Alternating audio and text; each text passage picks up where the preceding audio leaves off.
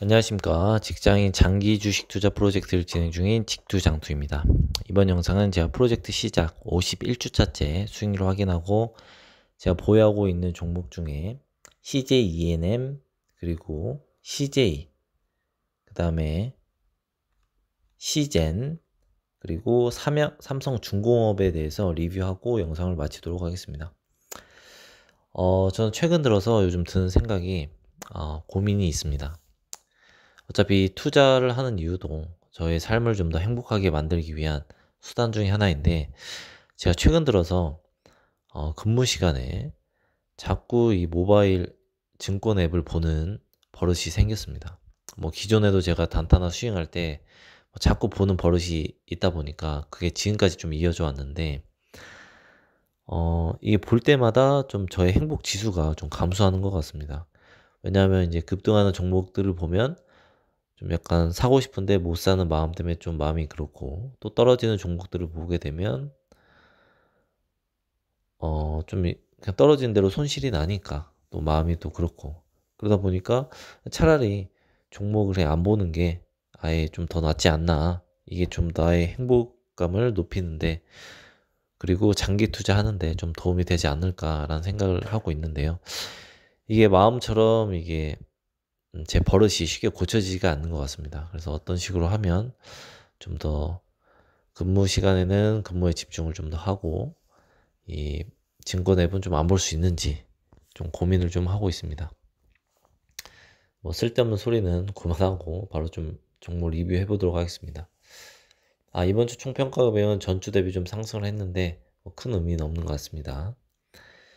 이 CJ ENM을 좀 한번 보시도록 하겠습니다. 이 CJ ENM 같은 경우에는 제가 작년 2020년 9월 달에 이제 매수를 했었는데 당시 매수했을 때만 해도 이 코스닥 코스피가 정말 분위기가 좋았음에도 불구하고 CJ ENM은 ENM의 주가는 매우 낮은 주가를 기록을 하고 있었습니다. 그때 그 이유가 이제 뭐 영화나 공연 이쪽에서 매출 한 20% 정도 차지하고 있는데 코로나로 인해서 영화 사업이나 뭐 음반 이쪽이 어, 매출이 이제 하락을 했던 게 주 원인이었던 것 같습니다. 사실 이제 그런 식으로 보게 되면 이 코로나가 종식이 되게 되면 뭐 영화 사업이라든지 공연 쪽 음반 사업에 대한 매출이나 영업이익이 다시금 이제 급등을 하지 않을까. 그래서 그런 분위기 때문에 시장에서도 최근 들어서 음, 주가의 분위기가 굉장히 좀 좋은 것 같습니다. 어, CJ ENM 같은 경우에는 2021년 1Q 뭐 실적도 뭐 역대 최대 실적을 기록할 만큼 굉장히 좋은 실적을 보여주고 있는데요. 그 이유를 보면 음, 2021년 1분기 실적이 좋았던 이유는 그 스튜디오 드래곤 CJ ENM의 자회사가 만든 드라마 빈센조가 어, 대박 콘텐츠를 이뤄냈고 그로 인한 TV 광고 수입이 이제 확대가 되면서 분기 최대 영업이익을 냈다라는 이야기가 있습니다. 그리고 이제 최근 들어서는 CJ ENM에서 제공하는 콘텐츠에 대해서 어, LG U 플러스가 어, 무단으로 좀 이용을 했다. 그래서 이제 손해배상을 어, 요구를 하고 있는 상태이고 그리고 추가적으로 LG U 플러스의 어, CJ ENM에서 제공하는 콘텐츠에 그 비용을 좀 올리, 올리겠다라는 내용들을 뉴스가 좀 나오면서 향후에도 CJ ENM에 대한 좀 호재들이 좀 있는 것 같습니다.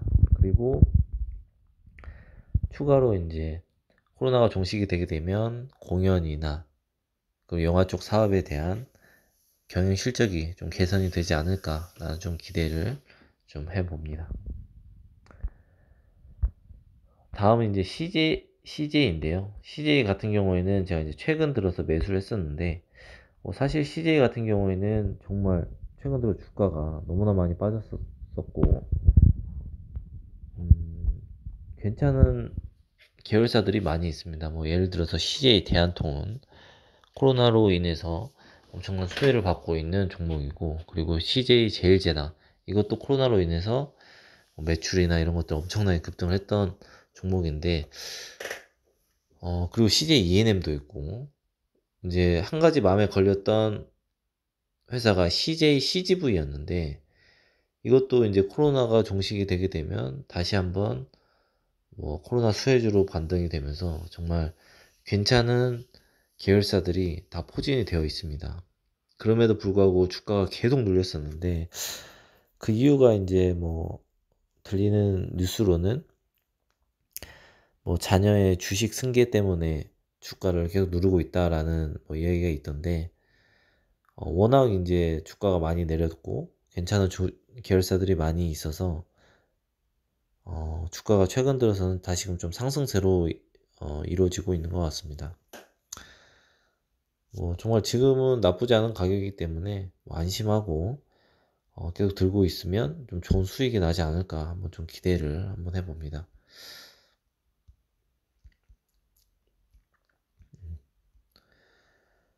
그리고 이제 시즌인데요.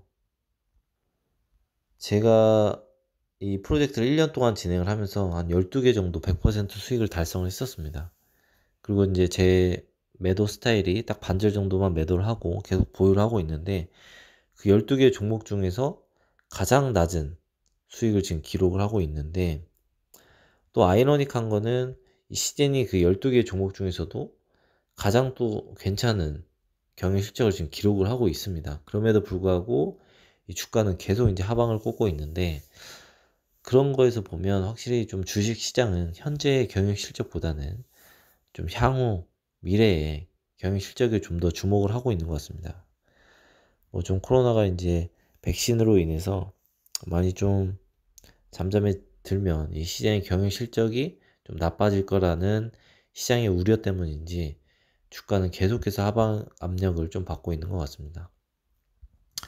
그럼에도 시즌이 갖고 있는 뭐 현금력이라든지 그리고 뭐 기술력을 봤을 때 음, 이렇게나 많이 빠지는 게 맞나 싶을 정도로 계속 주가는 빠지고 있습니다. 역시나 주가는 주식은 어, 정말 어려운 것 같습니다. 뭐 이런 식으로 봤을 때, 뭐 지금 또 이렇게 빠지다가도 또 언젠가는 또 기업의 가치대로도 급등할 수 있는 거니까 어, 어떻게 될지는 한번 지켜봐야 될 것 같습니다. 근데 이제 그런 식으로 봤을 때 이 삼성 중공업 같은 경우에는 음, 최근에 이제 유상증자로 인해서 거의 마이너스 한 20% 정도 어, 기록을 했다가 최근 들어 주가가 매우 좋은 이제 흐름을 보여주고 있는데 삼성중공업은 시젠에 비교하면 현재 거의 뭐 경영 실적이 마이너스 뭐 몇천억씩 나고 있는 경영 실적이 매우 안 좋은 기업임에도 불구하고 최근 들어서 실적은 어, 주가의 흐름은 매우 좋습니다. 그 이유가 이제 향후 몇 년 안에 최근 받고 있는 수주들이 좋은 경영 실적으로 연결이 된다라는 시장의 기대감 때문인지 실적들은 매우 좋게 아니, 주가가 매우 좋게 지금 보여지고 있는 것 같습니다. 음, 뭐 이런 식으로 보게 되면 뭐 주식은 좀 더 현재의 경영 실적보다는 좀 미래의 경영 실적을 기반으로 해서 주식을 매수하면 좀 괜찮지 않나라는 게 좀 보여지는 것 같습니다. 음, 어찌됐든 뭐 주식은 정말 아무도 모르는 거기 때문에 좀 저 같은 경우에는 뭐 이런 식으로 좀 지켜보고 뭐 데이터를 좀 쌓아 나가면서 어, 주식 실력을 좀 길러보도록 하겠습니다. 부족한 영상 항상 많이 시청해 주셔서 감사드립니다. 오늘도 행복한 주말 되시길 바라겠습니다. 감사합니다.